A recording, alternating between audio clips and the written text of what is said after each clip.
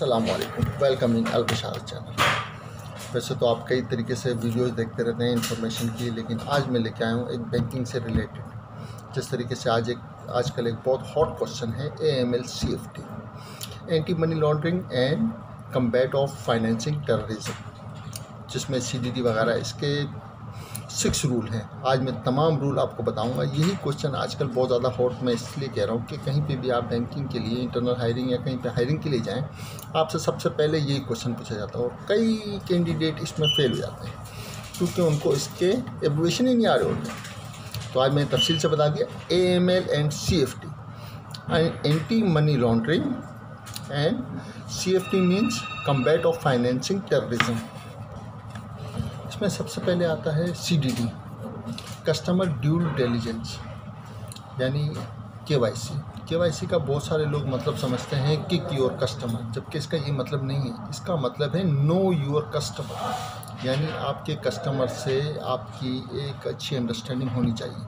आपको नॉलेज होनी चाहिए कि उसका क्या बिज़नेस है, क्या पर्पस है, किस पर्पस के लिए बिज़नेस ये अकाउंट खोला जा रहा है। कई आवाम को बेवकूफ़ बनाने के लिए तो नहीं बैंक का टैग यूज़ कर रहे हैं। बहुत सारी आवाम जो सीधी सादी है पाकिस्तान की, वो जब बैंक का टैग देखती है तो ये काम सही हो रहा होगा। बहुत सारे लोग एक एडवर्टाइजमेंट करते हैं कि हमें एक लाख रुपए दो, हम उस पर आपको fifty percent profit per month देंगे, या थर्टी परसेंट देंगे, या टेन परसेंट देंगे पर मंथ हम आपको देंगे। और लोग बैंक के ऊपर टच करके बैंक का टैग देख के उसमें डिपॉजिट करना शुरू कर देते हैं। और वो एक बहुत एक हक किस्म के अमाउंट निकाल कर और फिर फ़रार हो जाता है जिस तरीके से काफ़ी केसेस नोट भी किए गए हैं। नब्बे नब्बे करोड़ रुपये साइड किए गए हैं। ये मैंने आपको बताया आर वन यानी rule number one C D D अब आ जाते हैं आर टू की तरफ़, यानी rule number two corresponding banking one bank account and another bank ये एक्चुअली ब्रांच स्टाफ से रिलेटेड नहीं है, ये हमारे ट्रेजरी डिपार्टमेंट इसको देखते हैं। जो फ़ॉरन के अंदर जो हमारे अनदर बैंक जो होते हैं, जहाँ पर जो हमारे बेनिफिशरी होते हैं। अगर जिस तरीके से कोई कस्टमर आ जाता है आपसे डिमांड आप बनवाने के लिए, जिस तरीके से फ़ॉरन कंट्रीज़ के अंदर मैनचेस्टर यूनिवर्सिटी के लिए अगर किसी ने आपसे डिमांड ड्राफ्ट इशू करवाया तो वो जब वहाँ पर, जब आप इशू करते हैं, जो वहाँ पर जो बैंक आपका वो प्रोटर एक्सेप्ट करेगा और उसकी पेमेंट करेगा, उस बैंक की नॉलेज रखना। ये आर टू हमें सिखाता है कॉरस्पॉन्डिंग बैंकिंग इसका ये मतलब है। अब मैं आता हूँ आर थ्री की तरफ़, यानी rule number three electronic fund transfer telegraphic transfer knowledge of benefit beneficiary and purpose of bank इसके अंदर इस इस टर्म के अंदर हम ये देखते हैं, जिस तरीके से डिसिप्लिन बने हुए हैं रूल बने हुए हैं कि अगर कोई मेडिकल के लिए आप फॉरेन कंट्री फॉरेन कंट्री को अगर अकाउंट फ़ंड ट्रांसफ़र करते हैं, इसके अंदर एक लिमिट है। फिफ्टी थाउज़ेंड हम तब कर सकते हैं, और वो भी वन टाइम नहीं टाइम टू टाइम यानी, और अगर एजुकेशन के लिए किए जाएँ तो उसमें हम सेवेंटी थाउज़ेंड ट्रांसफ़र कर सकते हैं।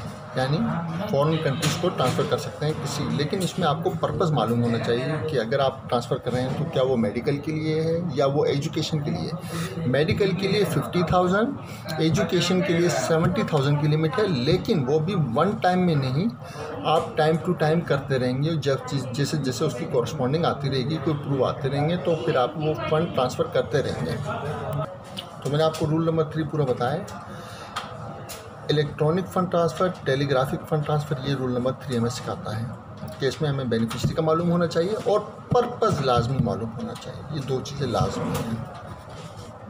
अब आर फोर की तरफ़, यानी रूल नंबर फोर की तरफ़। ये हमें कैश काउंटर की ये रूल है, जो हर ब्रांचेस के कैश काउंटर में ये इम्प्लीमेंट होते हैं। Reporting of transaction two million और above two million and deposit of dollar ten thousand और अबव टेन थाउज़ेंड इसकी रिपोर्टिंग होती है। सी टी आर और S T R C T R means case transaction report and S T R means suspicious transaction report अब अगर two million आपके पास कोई deposit हो रहे हैं तो आपने जो डिपॉजिटर जो करंट आपके सामने प्रेजेंट है, जो डिपॉजिटर है, वो अपनी कंप्लीट डिटेल देगा।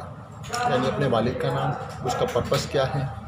अगर वो इसी कंपनी से आया है, जिस कंपनी में वो पैसा डाल रहा है तो वो इसमें क्या डिजिनेशन है, उसका ये कंप्लीट इन्फॉर्मेशन वो आपको देगा।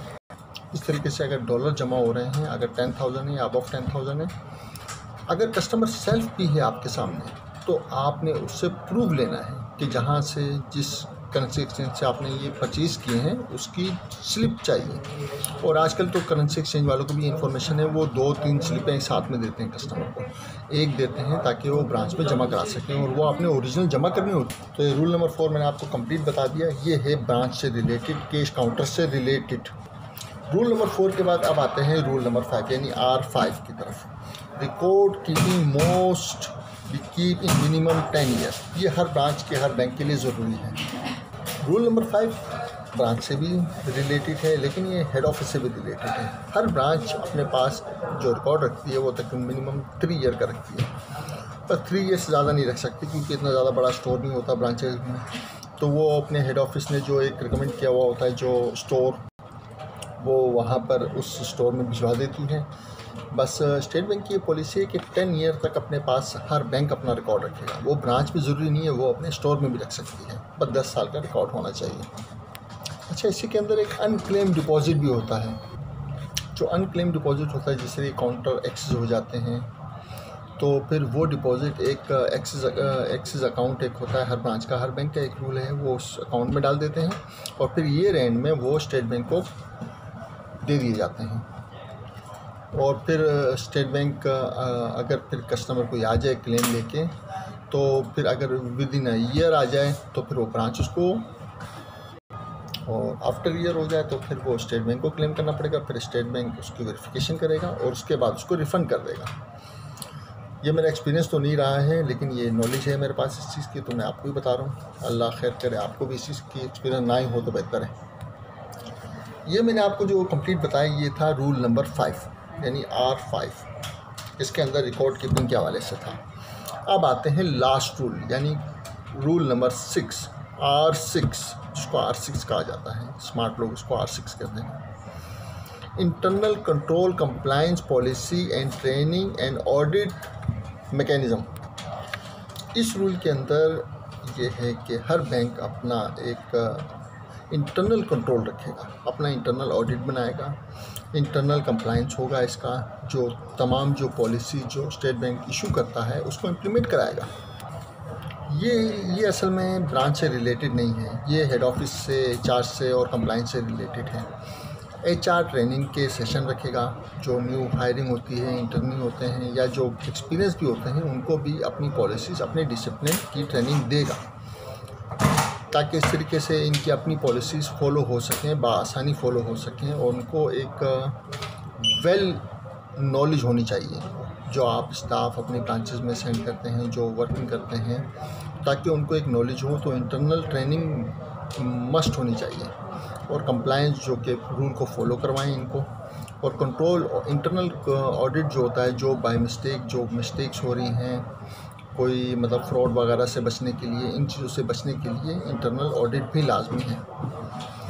ये मैंने आज आपको बताया, ये आजकल बड़े बहुत क्वेश्चन है। आप कहीं पे भी हायरिंग जाए, आप एक्सपीरियंस हो या नॉन एक्सपीरियंस हो, आप किसी ब्रांच में जाते हैं ख़ास तौर पे ऑपरेशन मैनेजर जब जाते हैं तो ये बड़े चौड़े होके एरिया मैनेजर जो बैठे होते हैं या रीजन मैनेजर रोम वगैरह जो बैठे होते हैं, वो बड़े चौड़े होकर ये सवाल करते हैं एम एल एंड सेफ्टी की गाइडलाइन बताएँ।